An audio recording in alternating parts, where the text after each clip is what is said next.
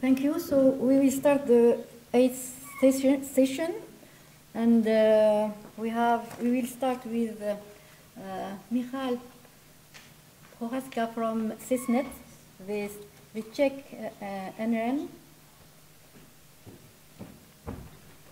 So he will present you present us the CESNET uh, NRN. Okay, so good afternoon. My name is Michal Procházka, and I've been asked to talk about the CESNET services, which is Czech, which is Czech NREN. Well, I'm not any official representative of CESNET. I'm not CEO, nothing like that.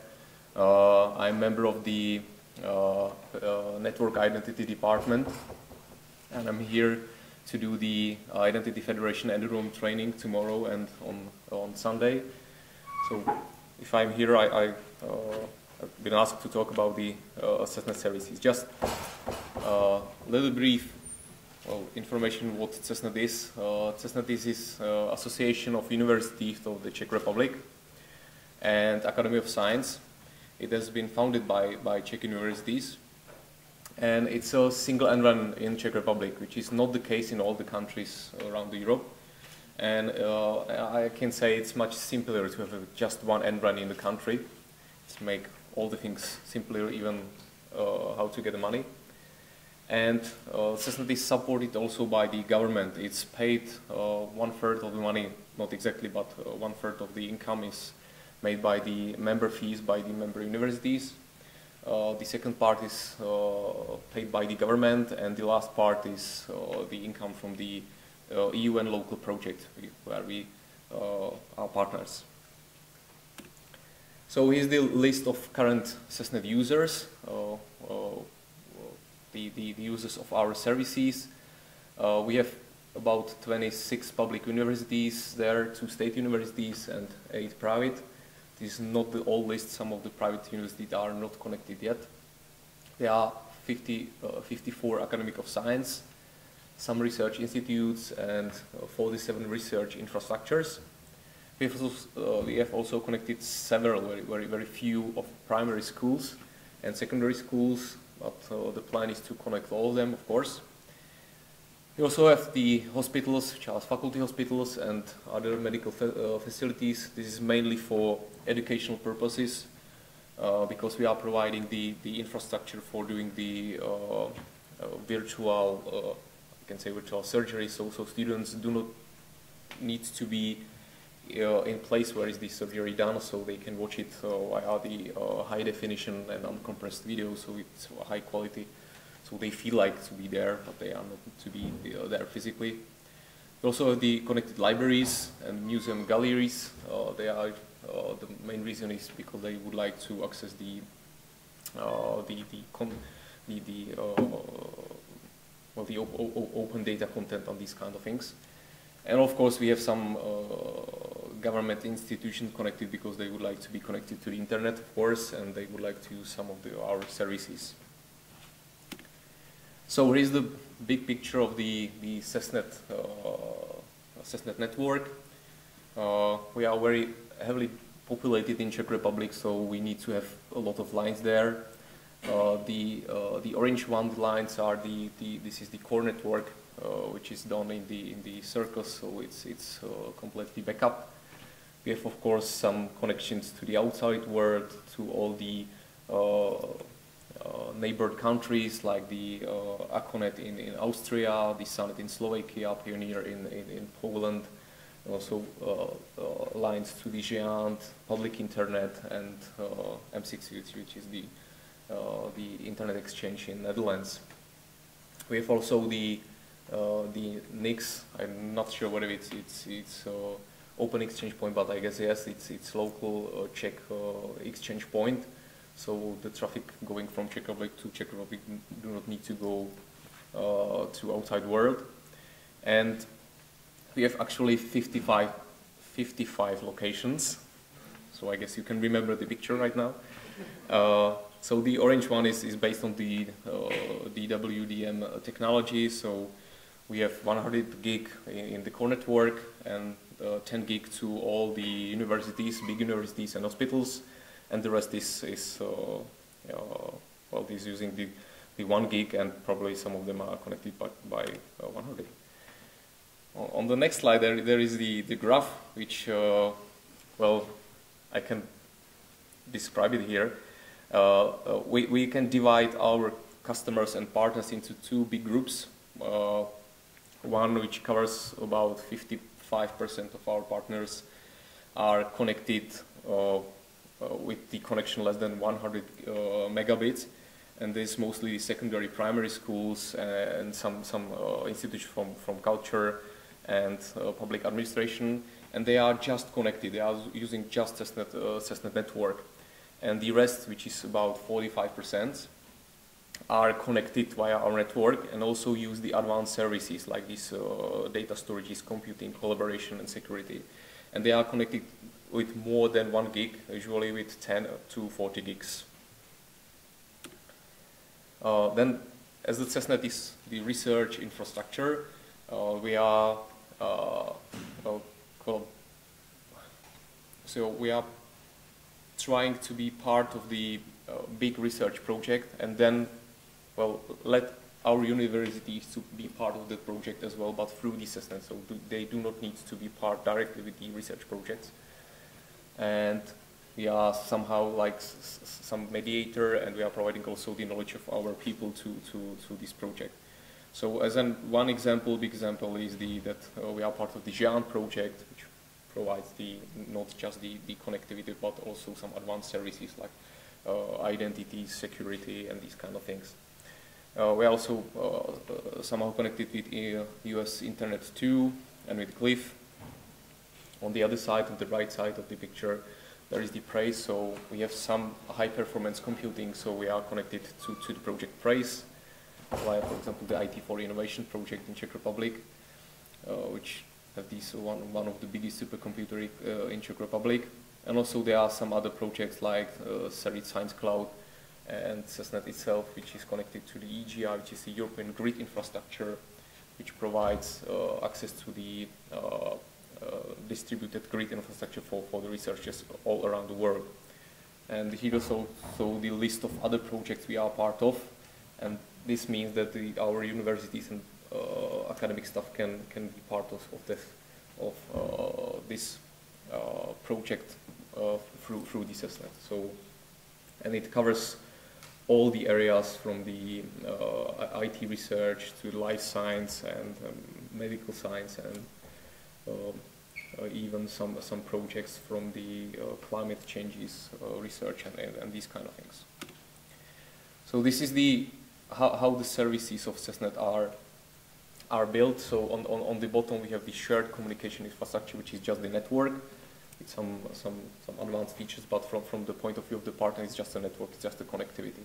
On top of the connectivity and network, we have the data storage services, high performance computing, and collaboration services as a big blocks, which are provided uh, for the institution and then can select which one of them, probably all of them, uh, they, they, they would like to use.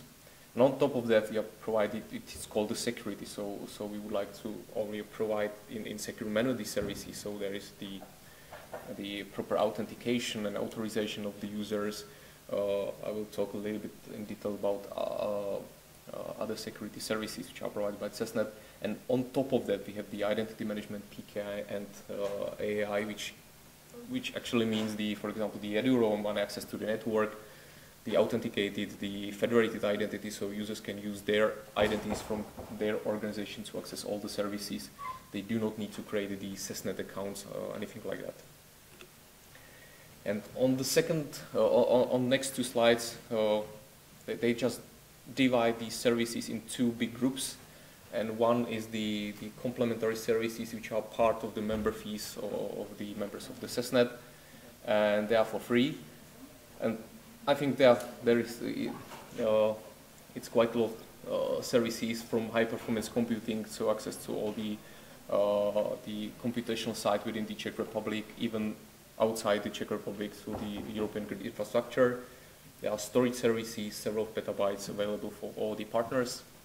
There are collaboration services, which means the video conferencing, even the CESNET is able to provide uh, the, the consultation with which hardware to, to, to buy and how to build the proper video conferencing uh, meeting rooms and these kind of things, and also provides the a couple of services uh, like the MCU and Adobe Connect and these kind of services. So, so users just, just click and log in via the federated login and can use these services. Of course, there are some infrastructure services like anti-spam, it was mentioned here, the, the washing machine for, for, for the mails, uh, DNS net network, uh, the precision time network, uh, and much more. The, these security and identities we providing the uh, the uh, the knowledge in the security teams how to build the security team. So some of the universities in Czech Republic already built their own security team, and uh, the CESNET has has one, so it it covers all the, all the Czech Republic uh, academic institutions. Uh, we also provide the federated identity uh, infrastructure uh, there are also some tools which uh, provide the monitoring so, so, the partners can, can request to be monitored by these central monitoring systems. And of course, there are some part of training, uh, especially in the security area. And there are a list of paid services which are some kind of extra, which must be paid an extra. So the, we provide the national and international end-to-end -end services, which means to, to uh, provide the direct connection between infrastructures and uh, organizations uh, guaranteed data backup and ar archiving, which is on top of the normal storage services. But if, if, you need to be sure that the data will be properly backed up and archived, then you need uh, to sign the SLA with, with the CESNET, and there must be some additional, uh, there are some additional costs on top of that. We have the virtualization platform, which doesn't mean that we are not providing any virtualization platform for free, but uh, we are providing just basic one, but if you need more, then you need to pay. Uh, licenses and software, uh, we are trying to buy the academic software, well, by the CESNET itself. So, so the CESNET will buy the software, the, the Mathematica and these kind of uh, Gaussian tools used for, for, for research. And then they are provided to, to, to, the, to the institution, just they, they can, the researchers can just use it. They do not need to uh, create any, uh, any agreement with the with the owner of the of the software or uh, anything like that. So so that's that's much easier for the researchers to use that software. And also this software is installed on our high performance computing facilities so they can just log in into the machines and start using that software. We also have the forensics laboratory, so in case of some security incident, you can let your machine be analyzed by the forensics laboratory. They are also providing the penetrating testing, so uh, you can let your services to be checked whether they are okay from the security point of view. And we also have some software which has been developed by CESNET and it's uh, provided by, so, so, you can you can buy the, the, the, installation and the deployment. There is the kernel identity management system and, and uh, access management system, FTAS and G3. They are monitoring system for large networks and Nagios system for, for the local monitoring. Uh, that's all. That's all about CESNET from me. Thank you for attention and if there are any questions.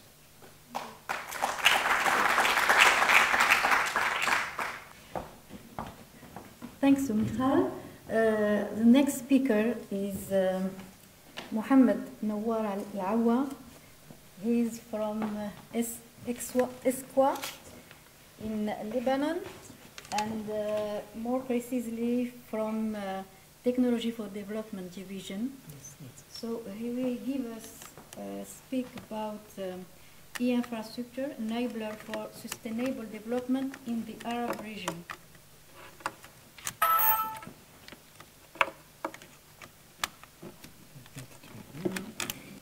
Uh, thank you very much. Oh. uh, thank you very much for the introduction, um, and also thank you for the organizers uh, to invite me to be here uh, in this event. I will take you on a journey in the world of development outside megabytes and gigabytes. So, so I hope it will be uh, fine. So I will be focusing on three uh, main points in my presentation. Uh, just a brief description about ESCWA, then I will speak about the development agenda uh, 2030, then finally I will speak about the role of infrastructure in achieving this development agenda. Uh, so as uh, it was mentioned maybe in the, uh, the opening session today, Uh, there was, uh, ESCWA is one of five regional commissions uh, uh, related to United Nations. We were established in 1973 as ECWA, uh, Economic Commission. Then uh, the name was changed to ESCWA uh, as Economic and uh, Social Commission uh, for Western Asia. Uh, our objective is to enhance cooperation, socioeconomic uh, cooperation between uh, Arab countries. So we have a lot of initiatives and programs uh, launched at uh, national, uh, sub-regional, and regional level. Our headquarters is in Beirut, but also the headquarters moved from Beirut to Baghdad and then to Amman due to security conditions. But since 1997, we returned back to Beirut. We have 18 Arab countries in, uh, uh, in, as members. And last year, uh, Mauritania has joined ESCWA, and we hope that uh, we will reach 22 uh, Arab countries in the near future. Uh, internally, we have several sections. Um, each section is dedicated to a special topic. For example, we, are, we have a division for sustainable development, another one for social, economic, and actually I'm working in the division of technology for development. Uh, uh, in addition to our regular activities such as studies reports that we are providing to, to Arab countries, also we are uh, implementing what we call technical cooperation program and uh, in this program we are providing uh, free of charge advisory services and we are also conducting uh, work, uh, capacity building work, uh, workshops to all Arab uh, countries. Um, some topics uh, that are um, in which we are interested: e-government, innovation, uh, incubators, technology transfer, and uh, other things. These are some examples of our advisory services that we provided to all our countries.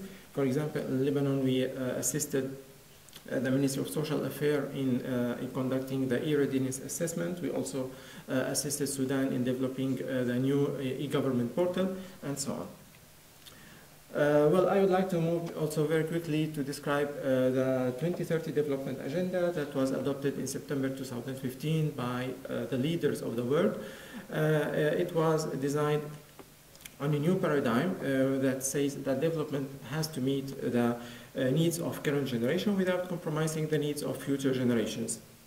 It has a 3D, three dimensions, social, economic, and environmental and uh, uh, it aims to achieve a better future for all people by ending poverty, reducing inequalities, and uh, saving the planet. In fact, uh, this new development agenda replaces the old one, uh, which lasted from 2000 till 2015. It was called Millennium Development Goals. Uh, also, uh, previous development goals, in fact, some of them witnessed some achievement, uh, but others are still uh, unmet on uh, the global level. For example, we uh, witnessed some improvement in poverty, uh, in, in uh, uh, making drinking water available to more people on the, on the world, and also in uh, increasing the number of children attending school. However, some targets are still unmet, such as mortality uh, under 5, maternal uh, mortality, and uh, CO2 uh, emissions. Uh, what about Arab region? Uh, in fact, in the, in the Arab region, only four countries are in the positive uh, zone of, uh, uh, according to MDG Achievement Index.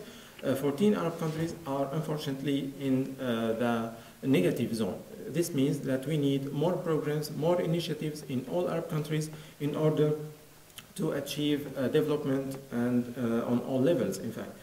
So um, the new development agenda is here. We started since 2016, uh, uh, and we are also assisting Arab countries in achieving uh, uh, and in implementing this development agenda. Uh, it is designed to be universal. Uh, it's based on sustainable development.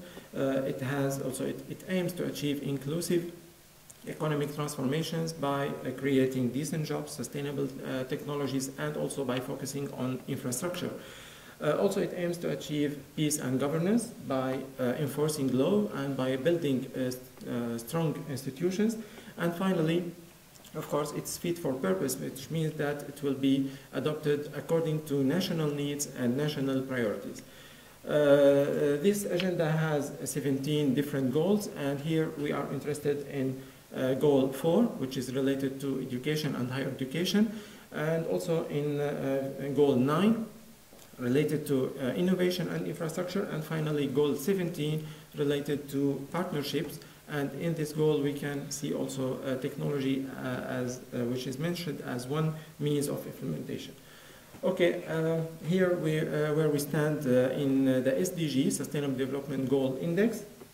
Again, we will we see that Arab region is divided into three groups. We have a group which is the in good ranking, let's say. We have a group in the middle, and we have uh, some group of countries that are lagging behind. And unfortunately, in this group, we have countries that are facing internal conflicts and wars.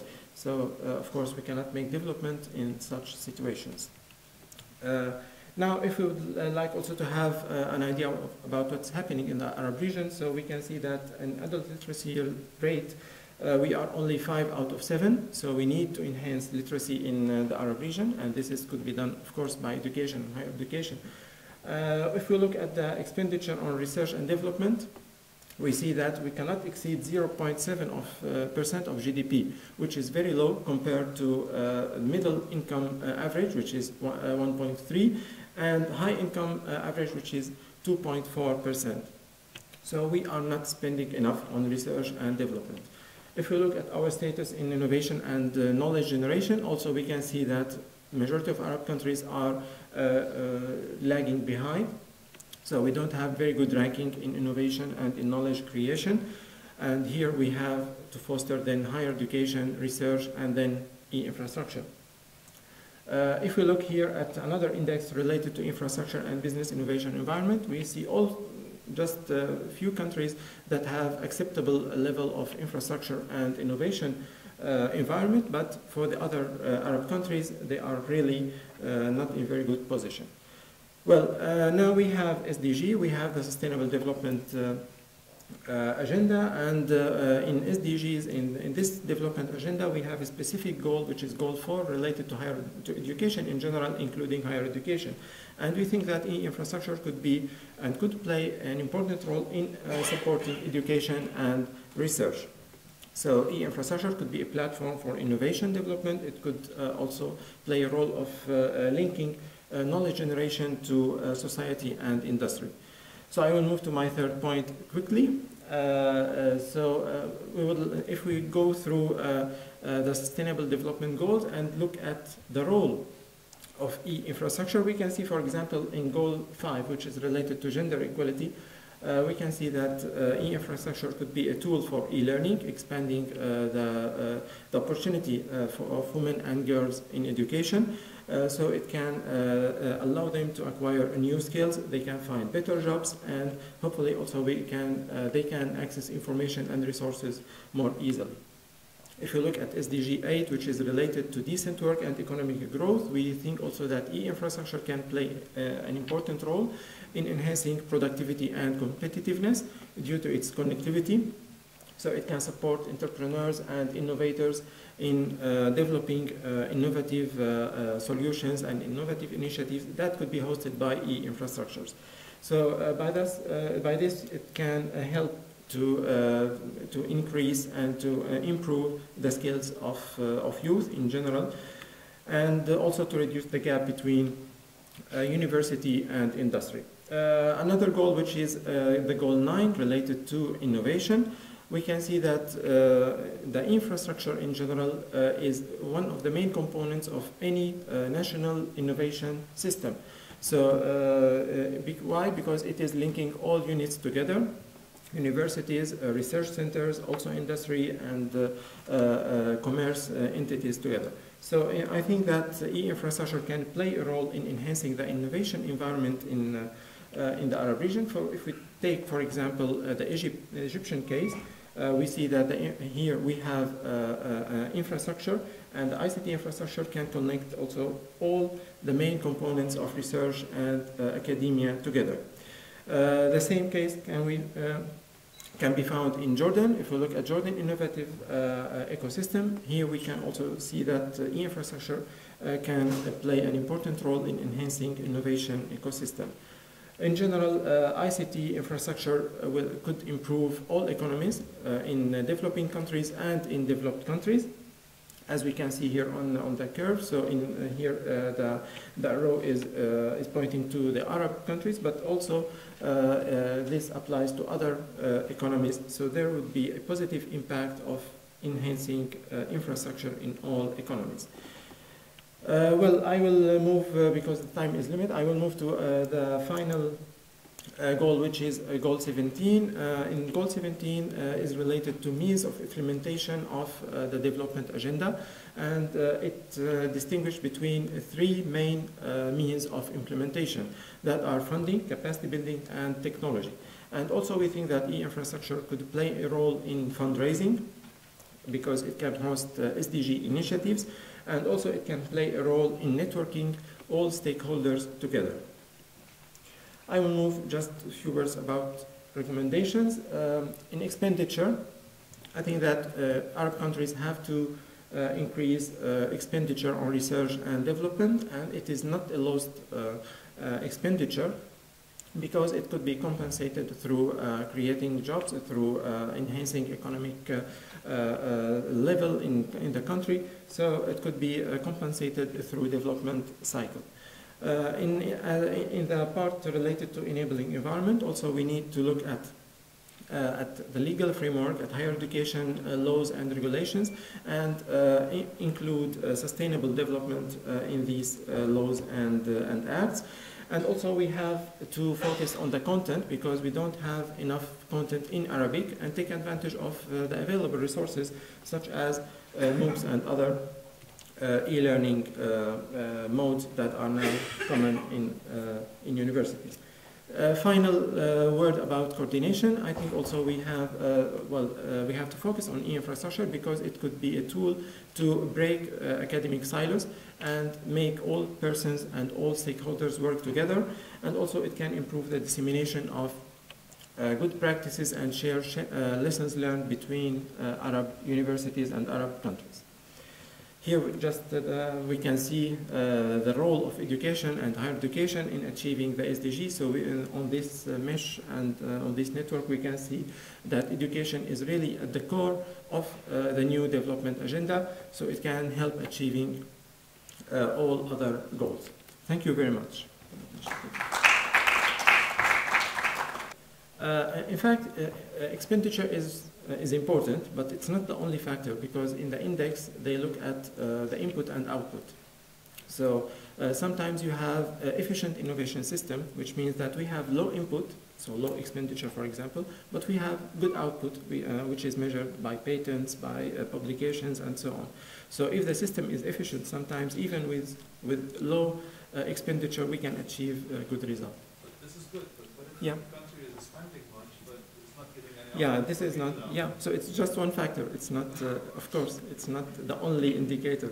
So what is the role of ESCWA in this case? What do you do with governments to, or with countries to motivate this kind of issue? Because this is very critical for the yeah. future generation. Yeah, in fact, we are uh, assisting our countries in developing their national uh, innovation policy. So uh, we are working with all Arab countries, with public public sector, so we gov with government uh, agencies, so we can assist them in developing and reviewing, in, uh, in providing, as I said, advisory services to any uh, agency uh, that think that we, uh, uh, they request ESCWA assistance. So we can develop a special study for each country and we can provide recommendations to enhance their national systems. Thank you. Any?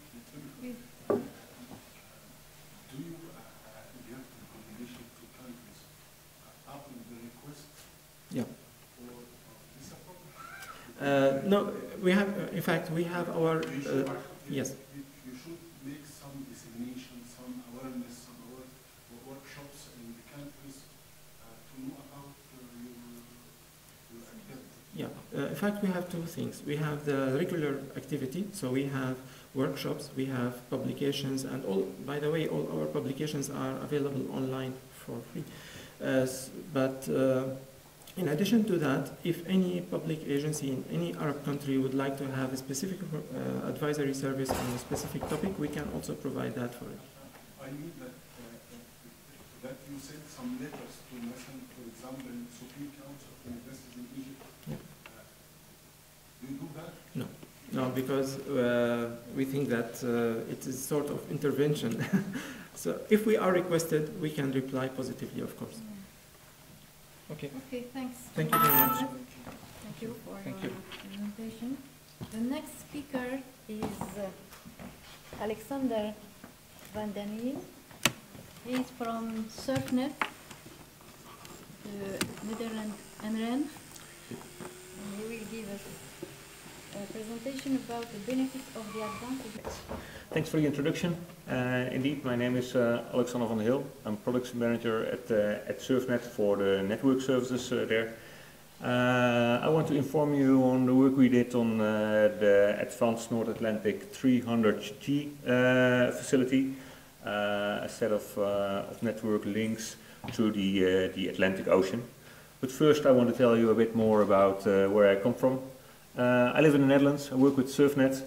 Uh, SURFnet is a small uh, country in the northwestern part of, uh, of Europe. Uh, we have about uh, 17 million inhabitants. And since the, the, the global age, we are, we are used to work globally, internationally. So, and that's what we, what, what we still, what we still do. Um, Lars already mentioned that it's, uh, it's, it, it's snowing in, uh, in the northern parts. Uh, in my country, it's raining quite often uh, these days. So that might be the reason why I feel uh, at home here in, uh, in Lebanon. Um, SURFnet. SURFnet is a part of the, the SURF umbrella organization, so to say.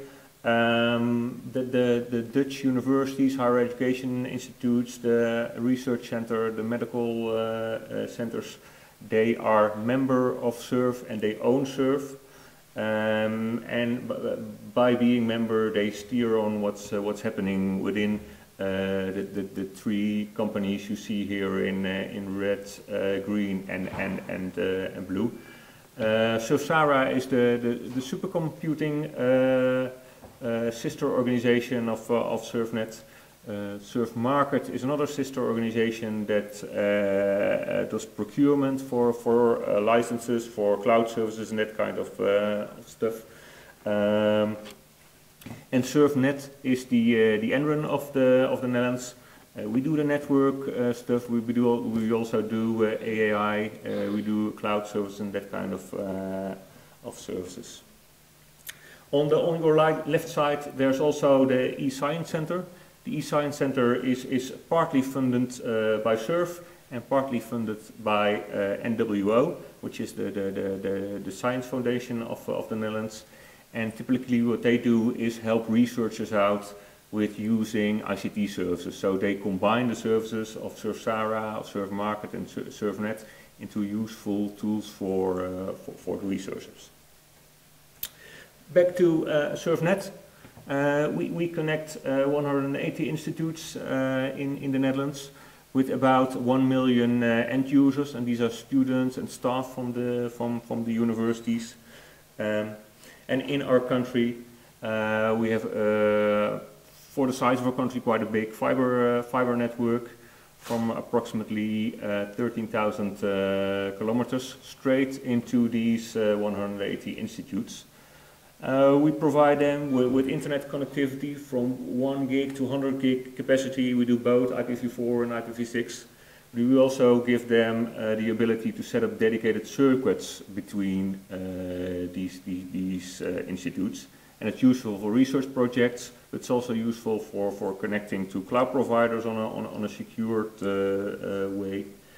Um, yeah, and, we don't do that only nationally. We all with cross-border fibers uh, and GÉANT and connections to NetherLight and AMS-IX and the Bel- Belgium Internet Exchange. We, we, we connect to uh, to our parties uh, abroad.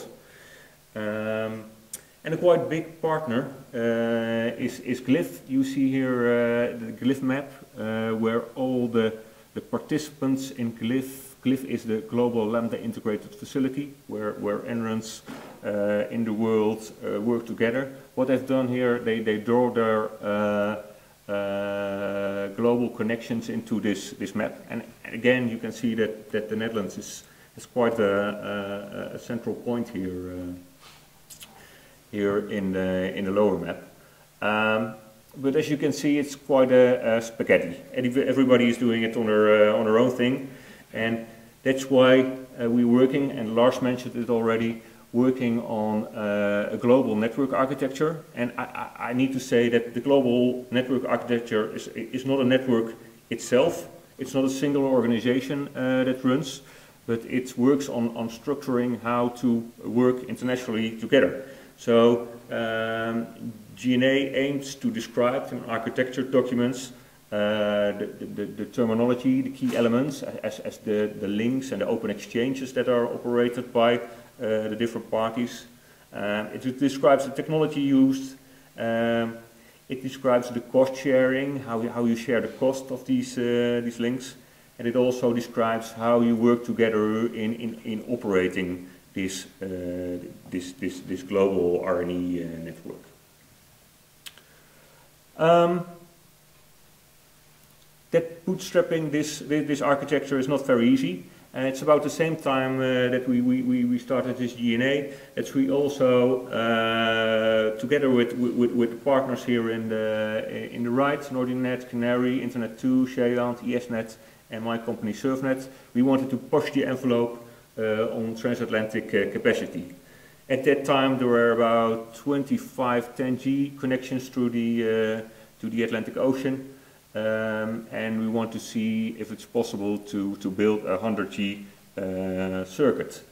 Um, the, the, the, drawing here uh, shows uh, a map of how we, have built this 100 gig uh, circuit and the aim was uh, to have it up and running at the TERENA Networking Conference um, in 2013 in Maastricht. Um, it was a close call, but we made it the evening before. It was up and running. Um, and, and, and after that, uh, that demo in, in Maastricht, uh, we, we, we, wanted to bring this in, uh, in production.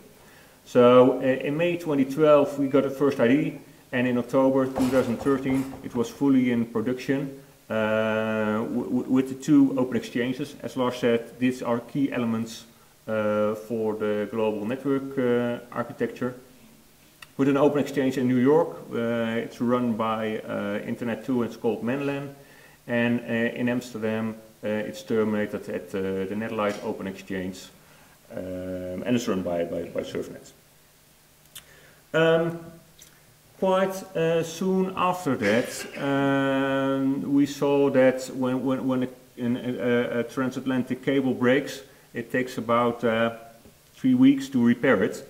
Um, so in order to have a production uh, facility, we, need a, we needed a second one. Um, so uh, we sat together uh, with the partners, NORDUnet, Internet2, CANARIE, uh, and SURFnet at that time, and we wanted to, uh, to procure uh, a second link to provide a resiliency among this, this system. Um, and we did that in June 2014. And when that was, uh, was ready, we were able to seize the, the existing uh, 10G services. So all the 10G services at that time were migrate, migrated um, to, to the new system. Um, in the meantime, uh, decided to, uh, to acquire another uh, 100 gig link and uh, in spring uh, of this year they decided to, to, to, to join the ANA consortium and add it to the, the facility. Uh, so uh, we now have 300G uh, links across the transatlantic, uh, uh, the North Atlantic Ocean. Um, and to provide uh, another bit of resiliency, we are working now on bringing one of the third links to, to Montreal. So we have three exchange points in Europe and three exchange ports in, in, in, in, in Northern America. So this, this, is, this is fully up and, uh, up and running now. Um, and we, we, we, we, we, we learned a lot about this. We used also this, this project as a pathfinder for, uh, for, for GNA uh, to see what we have to describe in this, in this architecture uh, documents. And the, the, the, most important thing we, uh, we learned is uh, that you, you have to trust your, your partners. Um, Without um, this trust, uh, we wouldn't have been able to, to do this. Um, for example, when we started this, uh, this project, uh, we didn't write a letter down in MOUs or something. Uh, we just trusted the partners that we were able uh, to do this and, uh, and make this to a good, good end. Um, so you have to trust each other on operations. You have to trust each other on making equipment available. You have to trust each other on the cost sharing. Internet 2, for example, took the first bill and they trusted us that we were going to cost share uh, this link later, uh, later on. Um, so I can't stress enough that you, that you have to find good partners uh, uh, here. The second thing uh, we learned is that this facility is also very beneficial for uh, other partners, not only for, for CANARIE, Internet 2, uh, GÉANT, SURFnet and, and NORDUnet, but we also saw that, that the, the presence of Internet 2 in Amsterdam and in London and in Paris was also useful for you guys. So um, many NRENs in the region uh, connected to Amsterdam and to London to peer there with, with, with Internet 2. So it makes uh, international connectivity uh, at once far more efficient. And you can see it here in this site. It's, it's, it gives you an overview of which parties are connected to, uh, to, to NetherLight nowadays. Um, at the upper left part, the, the open exchanges around uh, the world. And on the upper uh, right part, all the NRENs uh, that, are, that are connected uh, right now. And each and every party, party connected can uh, exchange traffic within, within NetherLight without extra cost or, uh, or extra agreements uh, for that. Um, the third thing is that you also need efficient uh, connectivity between the, uh, the, open exchange points. So Lars already uh, pointed this out. What we did in, in Europe uh, with, with, with, with NRENs, we shared our fiber system there. Um, so, for example, uh, NORDUnet bought a link from, uh, or a fiber system uh, between Amsterdam and London, and uh, SURFnet operates uh, the optical system uh, on that. On the, another example is the, the, link between Hamburg and, and Geneva here. we swapped the spectrum. Um, SURFnet uses the link which goes directly from Hamburg to Geneva via Frankfurt which, uh, we, on which we used uh, the Polish spectrum. And exchange, in exchange for that, uh, we give the, our Polish colleagues spectrum on our link. And by that, we don't have to invest in, in, in fiber systems twice. And we're also able to interconnect these, uh, these exchange points very, uh, very efficiently and uh, lower the cost for, for that. Um, that's basically what I wanted to say to you today.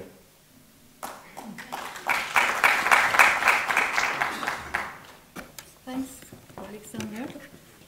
The next speaker is Adwan Mousalli from Tata Communications. So please, you will give us speak about uh, pushing the limits on research and education with the cloud. So. I think I broke the laptop. Okay, I- I'm not going to be using the laptop. so- Yes. Oh, okay, please give that's us- easy. Yeah, thanks. easy. That's okay. Hi, good afternoon, uh, everyone. For those who don't know me here, uh, my name is Radwan Mousalli and I represent Tata Communications. Uh, Tata Communication has been associated with the R&E community for probably the last uh, 25 years, if not more, from the Teleglobe Canada days. I've got uh, my ex-colleague here, Yves Poppe, who spoke earlier today. Uh, you might have seen also some of the links from my uh, colleague who just spoke. There are several links that uh, crosses the Atlantic as well as the Pacific and intra-Europe says TGN, and that stands for Tata Global Network, because we own and operate the largest submarine cable system. Uh, I didn't want to use a PowerPoint because I think what have been said so far is uh, uh enough uh, coverage with regards to how important the uh, is to our community globally as well as in this part of the world. And again, I don't want to use a PowerPoint because I don't want to call this session as death by PowerPoint. We've got, uh, we've had enough PowerPoint this afternoon. My, my only five cents when it comes here is we've been, in this part of the world, we have been trying to really advance uh, and enhance the quality of education, which we all believe that it is very important for the next generation, for our kids, for our uh, children, and so forth. And our colleague from uh, uh, uh, the ESCWA spoke earlier how important it is and what are the implications when you improve the quality of education for, for the generation. And I think for the last probably six years or seven years since ASREN was established, there have been multiple attempts where we really want to advance these uh, uh, national research and education networks. And excuse my apologies, I had a three-page speech here, but I'm not going to use it because I really, the speakers, the earlier speakers got me really excited, so I'm, I'm doing it right from my heart, and I represent myself here when I speak few things. Uh, now, the previous speakers have spoken and showed us how beautiful those networks are, how advanced, how sophisticated. Who is benefiting from this, right? Now, the way I look at it, I don't think this part of the world lack the talent, the knowledge, the desire of people, whether within the education and research institutes or students or children, kids at school, they don't have the desire to get access to all these, uh, all, all kind of, of, of that data and research that are available uh, to everybody else in the world, right? We've, some, we've seen Sweden connected to Denmark, Denmark connected to the US, US is connected to Canada, and so forth. So my question to ASREN here is why we are not part of this journey. What do we really need to do to be part of this global ecosystem, right, and take advantage of this? Now, we keep saying that the cost of connectivity in this part of the world is expensive, right? Because, let's face it, it is a not uh, uh, fully deregulated uh, environment when it comes to the telecom industry, and that's where I come from, so excuse my ignorance. I'm not a scientific, scientist nor a politician, but I'm taking things from more from practical perspective. So because our environment, the, the, the regulatory environment of our uh, region is not fully deregulated, uh, and of course, we, we sit somewhere in this globe where connectivity is expensive from distance perspective, from infrastructure investment perspective. I think, and I, I insist, that the mandate of ASREN under the, the, the, the, the patronage of the Arab League should really be lobbying at the highest level with regards to getting access to cost-effective connectivity for the Arab world to be part of this beautiful networks that we have just seen. I think this is, this is the mandate of everyone who represent ASREN, and I happen to be a founding member uh, uh, in, in, that uh, uh, forum, which was signed back in, on, I still remember, on the 10th of December 2010 in the Arab League building in Cairo. And I was under the impression that this was the mandate, because to pursue these kind of initiatives, it has to happen from top down. Otherwise, it will never happen, right? Now, but do we, do we sit and wait for another seven years since the ASREN was established to basically contribute to the next generation in this part of the world? Or do we try to find alternative ways at least to provide basic services related to the R&E community um, uh, till, till somehow uh, uh, the, the, the connectivity part gets resolved? And people realize that this is as important as infrastructure in any country in this part of the world, just like the way we build universities or schools or highways or or electricity and so forth, right?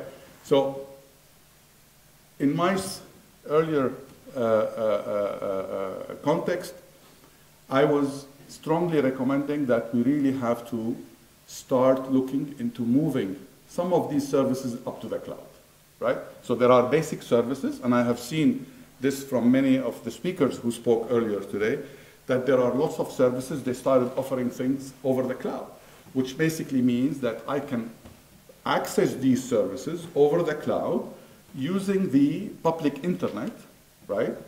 And obviously, there are so many business applications that over the last three, four years have, have moved to the, to, the, to the cloud, right? If we look at Microsoft, we look at Google, if we look at Amazon, if we look at uh, SFDC, SAP, etc., it's already over the cloud. So what does really prevent us from moving these services over the cloud and, and create some sort of a governing rules for those scientific research educational users to access this. If I look at it from corporate perspective, today, we have moved our uh, email servers or email service from on-premise up to using Microsoft Office 365, right? And obviously, I can access my email from anywhere in the world, right, in a very cost-effective manner.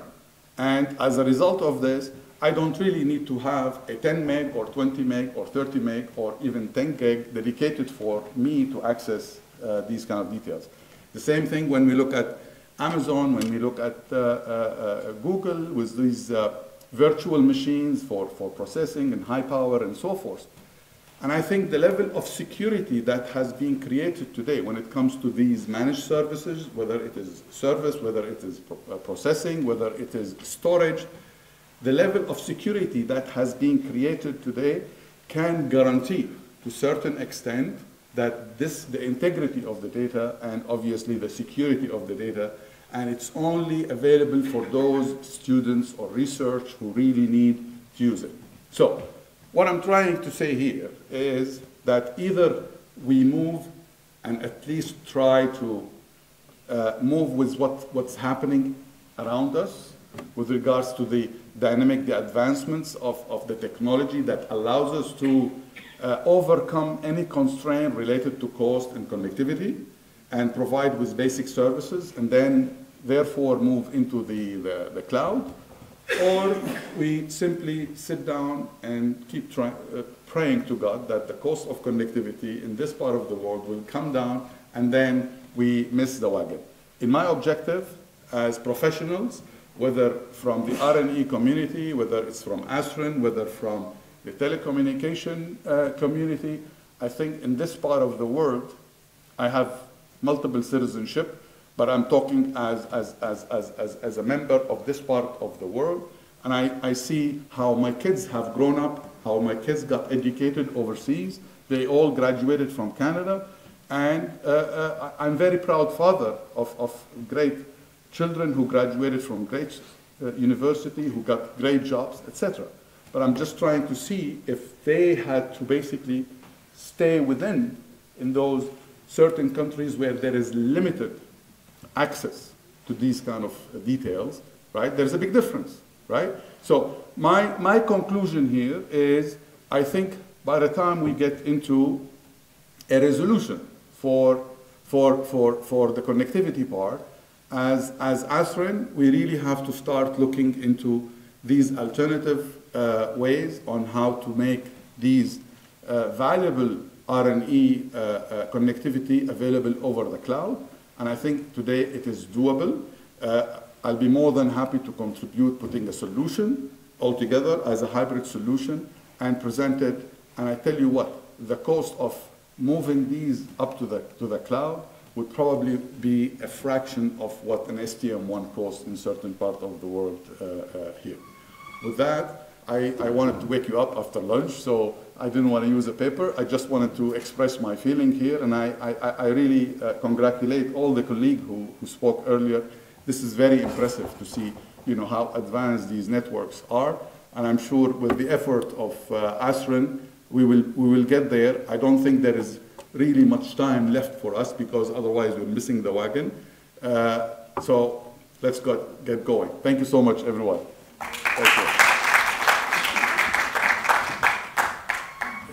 Thanks to Radwan Mousalli to, to giving us your approach.